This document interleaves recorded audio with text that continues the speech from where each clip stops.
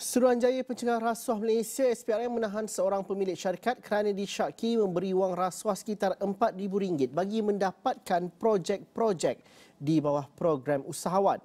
Perintah reman tiga hari bermula Khamis terhadap suspek dikeluarkan Magistrate Ilza Zulaikha Rohanuddin selepas permohonan dibuat SPRM di Mahkamah Magistrate Putrajaya pada pagi Khamis. Menurut sumber, suspek lelaki bersama dua lagi individu ditahan ketika hadir bagi dirakam keterangan di Ibu Pejabat SPRM antara jam 8.35 hingga 10.30 malam tadi.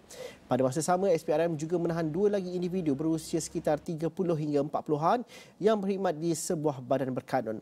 Suspek dipercayai telah memberi sejumlah wang dianggarkan RM4,000 kepada dua individu berkenaan bagi mendapatkan beberapa projek di bawah program usahawan sekitar tahun 2020 hingga 2023.